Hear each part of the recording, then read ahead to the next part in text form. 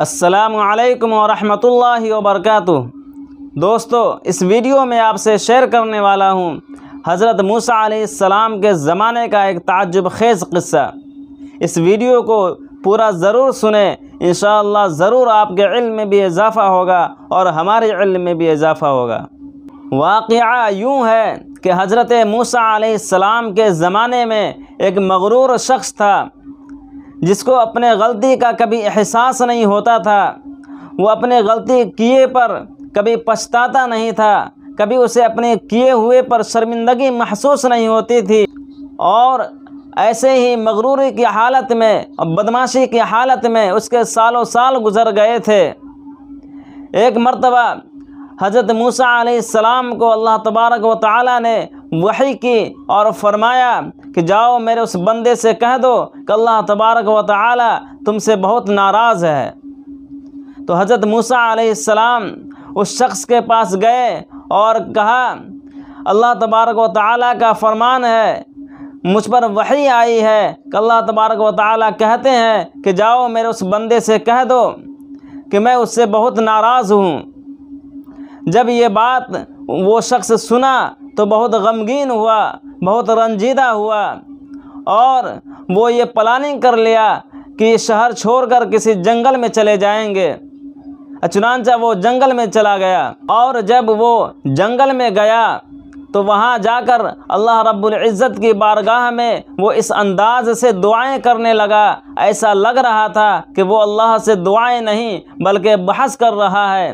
لیکن اللہ رب العالمین کے پاس بندہ جس حال میں جاتا ہے، جس انداز سے دعا کرتا ہے، اللہ اس کی سنتا ضرور ہے۔ اللہ تو اپنے بندے کی نیت کو دیکھتا ہے، اس کے انداز پہ نہیں جاتا، اس کے ہر انداز کو نظر انداز کر دیتا ہے۔ میرے بھائیوں اس شخص نے اللہ تبارک و تعالیٰ سے یہ کہنے لگا، اے رب العالمین، کیا تیری رحمت کم ہو گئی؟ یا میرے گناہوں نے تجھے دکھ دیا ہے؟ اور پھر کہنے لگا، اے رب العالمین، تیری بخشش کے خزانے ختم ہو گئے، یا بندوں پر تیری نگاہ کرم ہی نہ رہی۔ اور پھر کہنے لگا، تیرے عفو درگزر سے میرا کون سا گناہ برا ہے؟ اس کا انداز دیکھو میرے بھائیو، وہ آگے کیا کہتا ہے خدا سے؟ وہ کہتا ہے، تو تو کریم ہے، میں تو بخیل ہوں، کیا میرا بخل تیرے کرم پہ غالب آ گیا؟ اس کے بعد کہتا ہے، اگر تو نے اپنے بندوں کو اپنی رحمت سے محروم کر دیا، وہ کس کے دروازے جائیں گے؟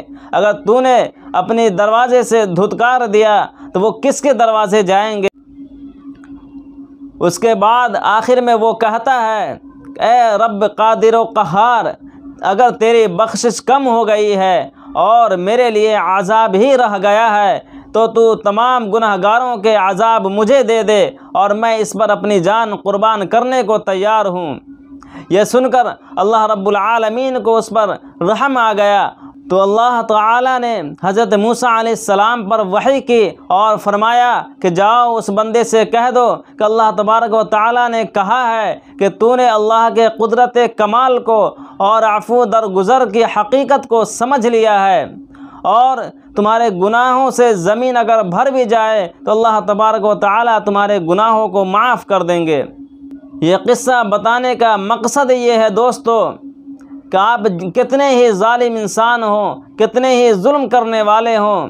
اگر اللہ کے نزدیک آپ جس حالت میں جائیں، سچے دل سے توبہ کریں، چاہے جس انداز میں توبہ کریں، اللہ تبارک و تعالیٰ آپ کی توبہ کو ضرور قبول کرے گا۔ میں امید کرتا ہوں کہ آپ کو یہ ویڈیو ضرور سمجھ میں آئی ہوگی۔ اگر سمجھ میں آئی ہے تو دوسروں کو ضرور شیئر کریں۔ اگر ہمارے چینل پہ پہلی بار آئے ہیں، تو ہمارے چینل کو سبسکرائب کریں۔ اور انشاءاللہ میں کوشش کرتا رہوں گا کہ آپ کو جو بھی بات بتاؤں، وہ اچھی اور سچی بات بتاؤں۔